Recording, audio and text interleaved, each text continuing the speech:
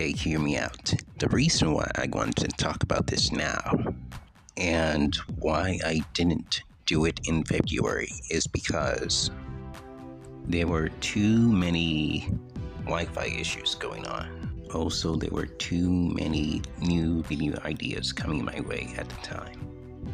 But now I'm here, and I'm gonna talk about it. If you already don't know who Brent Rivera is, this is him. I knew who Brent Rivera was when Vine was a thing in 2013, but I joined in 2014 because I didn't have a phone at the time. So, yeah, Brent Rivera was one of those Vine creators who would make funny skits at the time before he transitioned to YouTube. But now, since he has transitioned to YouTube, things have gotten a bit worse for him in the last couple of years, and now there is a brawl between him and Tyler Oliveira. Keep in mind that this happened in January this year, and so the first video I want to bring up to you is, well, essentially Brent Rivera's video, TikTok video, of where he addresses what happened on his side of the story when he accuses Tyler Oliveira of saying awful things about him instead of doing the smartest thing of all, just by not saying anything and walk away. If you've recently saw a viral video of two YouTubers arguing in a hotel hallway, well, one of those YouTubers was me. Things quickly get taken out of context, so here's the full picture. Also, this isn't me defending the things that I said, but more so giving you guys my perspective of what happened that night. So right when I was about to pull a prank on my friends in a hotel, this guy came up to me yelling and accused me of faking the prank. And I'm not saying all my pranks are real, but this one was. Well, Brent Rivera, I have a question for you. Why would you make a fake prank in the first place? We were just minding our own business, filming a video, so this was really frustrating given the amount of time, energy, and money we put into these videos to make great content for you guys. And as the night went on, he continued to approach us with his camera, saying awful things about me, my friends, and my sister to try and get a rise out of me for his video. Why not just be honest with Tyler and just say it is all fake? All Tyler was doing was asking you a very simple question because you tend to do that a lot. Yeah. At a certain point, it bubbled up so much that I did what he wanted. I stooped down to his level and I said something that I should not have said. Go have fun with your uh, 100 subscribers. See, this is what I don't understand. Why lash out over somebody who's asking you a very important question? By being childish and say that he has less subscribers than you. Later on, he came up and started filming again, this time while we were on a tour. His actions toward us and other guests on the tour caused the hotel staff, not me, to call security. Maybe it's because he was the one that booked this hotel first and you just came out of nowhere to where he is. He was warned several times by the hotel staff to not only leave us, but other guests and hotel staff alone. And after several warnings, the hotel chose to call the police to get him escorted from the hotel. Anyways, I am not proud of the way that I reacted at all, nor am I perfect. All I can do is be real with you guys and admit that I could have handled it by not saying anything and just walking away. I mean, listen. I'm just puzzled as to why you didn't mention that you booked a hotel room here. Were you trespassing, Brent? Now I saw this clip for from Tyler Oliveira, which happened right before Brent Rivera came to his defense. That's Brent Rivera calling security and then the cops on me after I asked him this. Do you fake your videos? No. It all started when I was staying at the Shining Hotel, came out of my room, and randomly found these two girls in the hallway. So I walked across the hallway only to find. What is your name? Brent. Brent. Last name? Rivera. Do you fake your videos? No. Do you fake your videos? No. And then after, on our way to our hotel tour, I ran into them again. Brent Rivera's right there. Go have fun with your hundred subscribers. We get that louder. We're filming our thing, you Yeah. film yours. Why did you walk up to us? Yeah? Are you really sure my life is Ava? Are you really sure you want to defend Brent Rivera and say, uh, Tyler walked up to you? Are you sure you want to say that? Because something's not right here, and somebody isn't telling the whole truth of what really happened. But I'll keep going. Like, enter our space. It's paid $400 a night for the hotel. What do you mean? if we were normal guests, that would Whoa, whoa, whoa. Normal guests? Yeah. If they were actually normal guests, then how much money did they actually pay to actually stay here long term? Because it doesn't look like they were. But I digress. Do you think you're elevated beyond an average human being? You've ascended the human. Wait, who are you? The night. Is it true you kissed your sister, Brent? After begging for the almighty Brent to forgive me, he called the cops and we were escorted out of the hotel. I think it was selfish of Brent Rivera to call the cops on somebody who yearly pays like over $400 to book a hotel room here where he stayed at. And speaking of somebody, this is Tyler Oliveira. He uploaded this video on February 6th, which is where the altercation started, when Brent Rivera himself completely acts like a tool. And Tyler Oliveira, the one that was mentioned on Brent's side of of the story, came out with his own statement on the issue. And Tyler uh, exposes Brent by saying that they were having sleep in their hotel rooms. He and his cameraman goes to the hallway to see the two girls that Brent Rivera placed in the middle of the hallway. And he also says that Brent Rivera didn't rent the hotel room. If you recently saw a viral video of two YouTubers arguing in a hotel hallway, well, one of those YouTubers was me. Things quickly get taken out of context, so here's the full picture. Brent, you're a liar. Here are the receipts. Also, I'm on the toilet, so I'll be quick. Lie number one. Right when I was about to pull a prank on my friends in a hotel, this guy came up to me yelling and accused me of faking the prank. And No, we were half asleep in our hotel rooms. My cameraman gets up, goes into the hallway, only to see these two ghost girls right outside our rooms. Keep in mind, Brent places these girls on the opposite side of the hotel room floor we apparently share. We easily could have avoided each other if you did not place your prank right outside our two hotel rooms on the opposite side of the hotel floor we both were staying on. Two, this guy came up to me yelling and accused me of faking the prank. And I'm No one yelled at you or accused you of anything. I simply walked up to you, asked you if you knew the two girls who were at the end of the hallway. You denied knowing them completely. I walked up to them, asked them if they knew you. They were like, maybe. okay. Anyways, so I walked up to you, and then you said, Do you fake your videos? No. Do you fake your videos?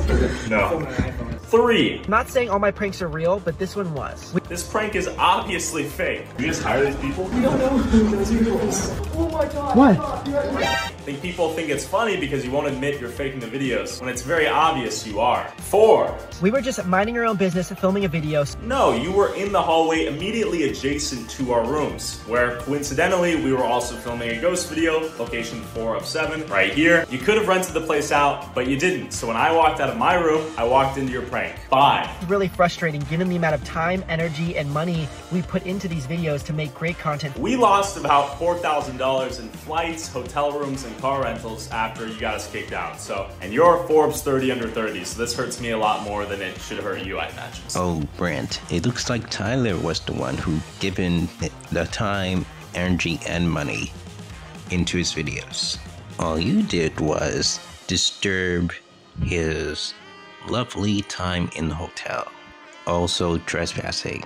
Six. To these videos to make great content for you guys. And as you don't make great content. You sexualize your friends and your sister for views in these weird love triangles. Look at this video.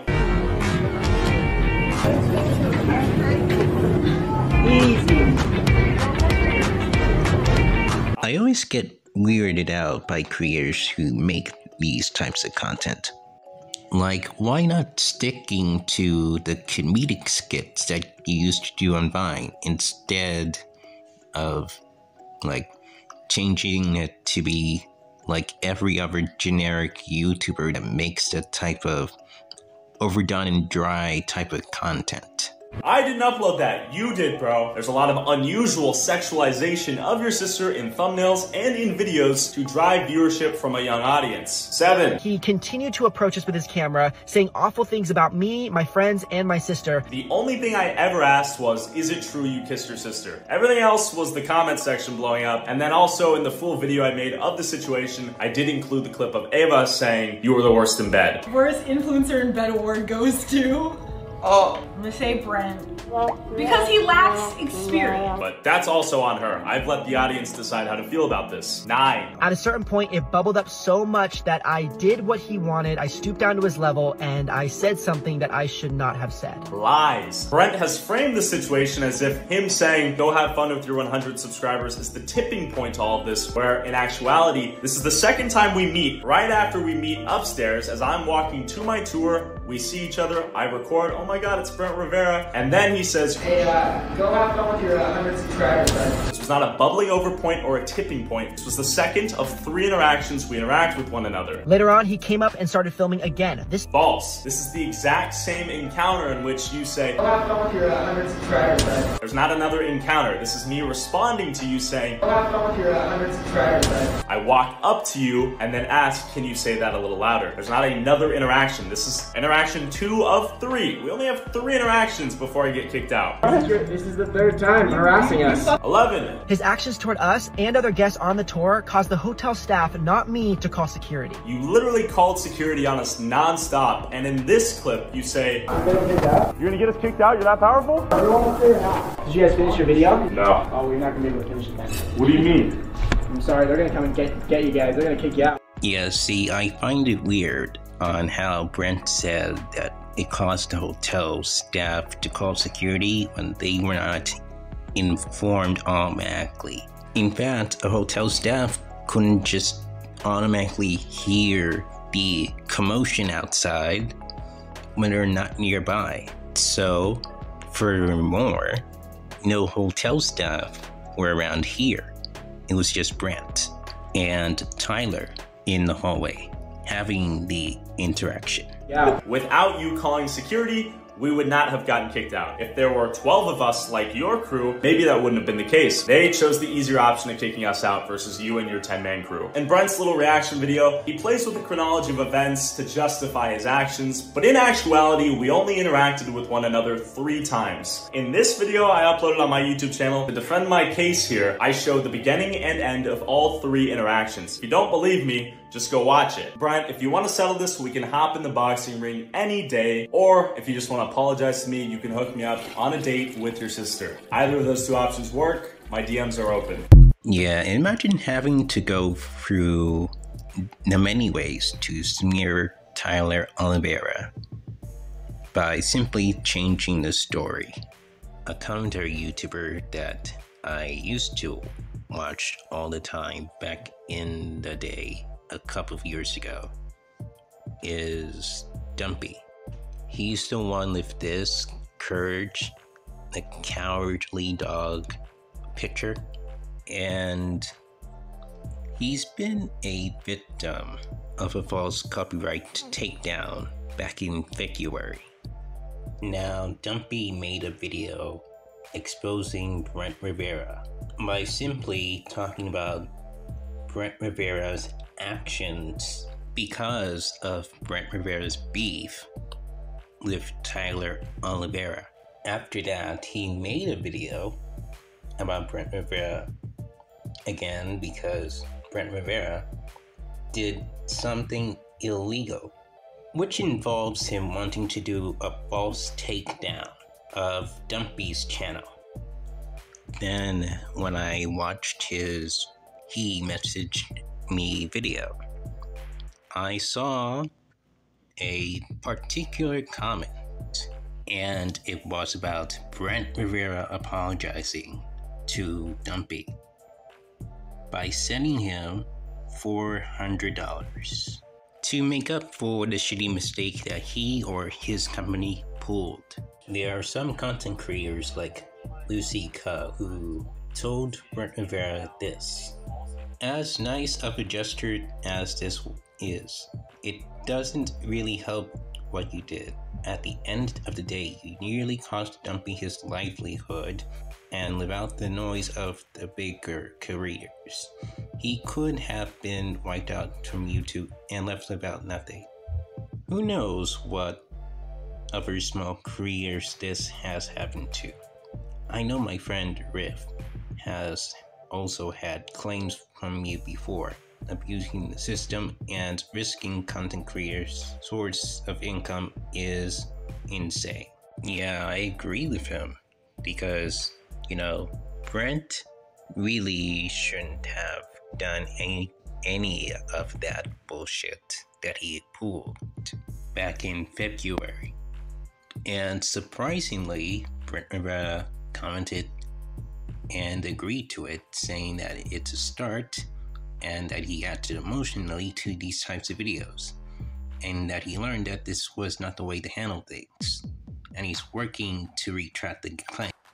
And don't get me wrong, it's nice and all that, but uh, even though he gave Dumpy $400 that he took from Dumpy, he doesn't accept his apology because he took Dumpy's videos down 40 hours during the time that it occurred and that he willingly lied to YouTube for whatever of any reason to actually attempt to successfully take away someone's livelihood from them. And even though Brent Rivera doesn't expect Dumpy to forgive him, at least Brent Rivera finally chosen to own up to his own mistakes, as it is a step in the right direction. Nothing changed, because sometime later in the beginning of the first week of next month, which is March, he got striked by YouTube.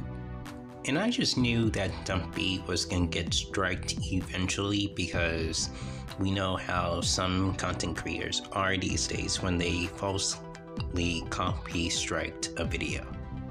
That is within fair use.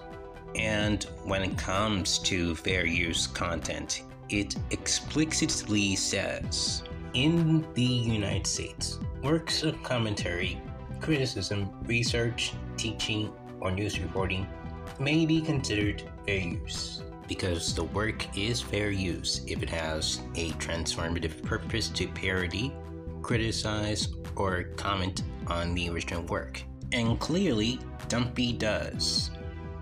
Dumpy was well within his right to criticize Brent Rivera's content.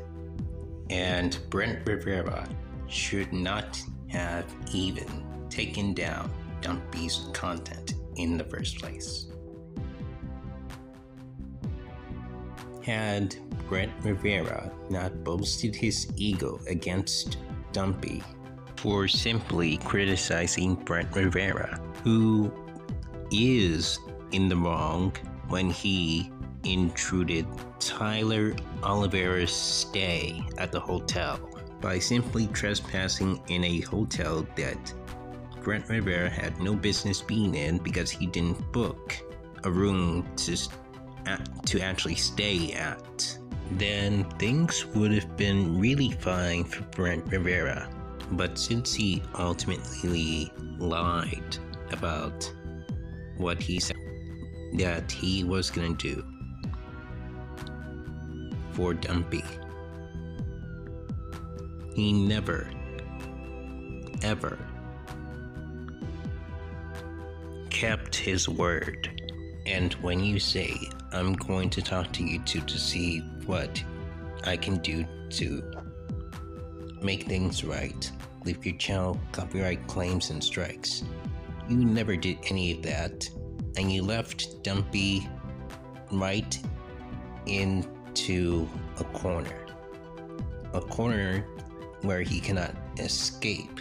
And if you really want to make things right, Brent, then you need to go back to the old content that you used to do on Vine and you need to stop faking your videos and stop letting your ego get the best of you. Because the Brent Rivera that I used to know back in the day would not be making that type of faking as content that everybody has seen on YouTube nowadays.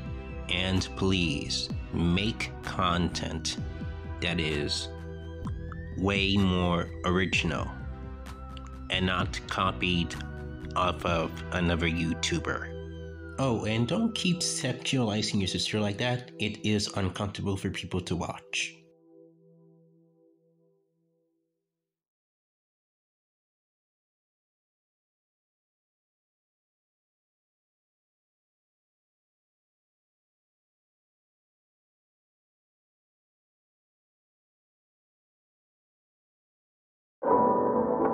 You